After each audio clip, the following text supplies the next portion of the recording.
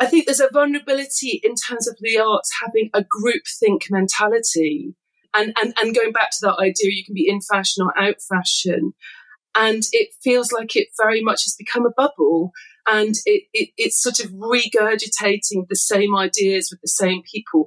And people are so terrified of being ostracized. They're so fearful.